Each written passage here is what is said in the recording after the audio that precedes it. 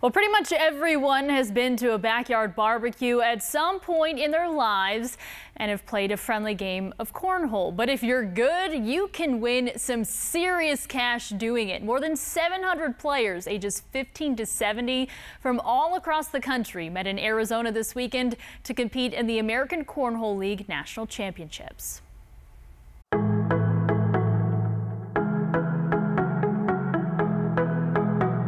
There's a huge age range. We have a lot of kids coming up into the game as their sport. You know, you grew up playing baseball, you grew up playing football and basketball. Well, some kids nowadays are growing up playing cornhole, but you know, the ACL slogan is as cheesy as it sounds. It's, it's anyone can play and anyone can win. You know, we kind of really have bought into that. Anybody can play, anybody can win.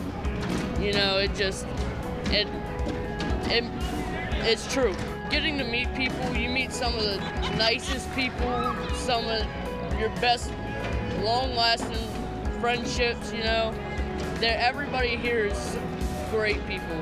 So a lot of the players that we have are what I like to call former wannabe athletes. You know, cornhole gives them that ability to stay competitive and play in a game or a sport that they can they can get those the competitive juices flowing through their veins. But I played uh, baseball, basketball, soccer. I played a lot of sports growing up, but I was never really really that good. But here, I feel like I can have a good day and I can compete with anybody, and that's you know that's the beauty of it. I met tons of people, and I even ended up leaving in my career partially because of this. So, I was a real estate developer for a nonprofit for 20 years. I recently left in August to do part-time cornhole and also chess, my other passion. Bringing this to the Valley is amazing. Amazing for the sport, amazing for the state, amazing for our cornhole family. So we're having a great time, and we're meeting good people.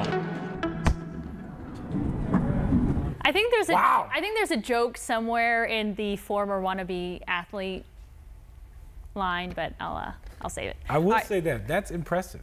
Want to quit her job to play cornhole, and now she's doing that full time. Yeah, and some some people, of course, take it more seriously than others. But there were five fifty thousand, excuse me, dollars worth of prize money on the line. Excuse me, girlfriend. Uh, fifty thousand for the purse or for the winner? Well, so there's a couple different categories, but altogether, people were they was dispersed. Fifty thousand dollars was dispersed. Yeah. Guys, Jeez. we need a team. That's what I'm saying. I know, can we seriously. Sign up next year? We can. Let's do it. we get matching t-shirts, outfits, all the above. Count us in.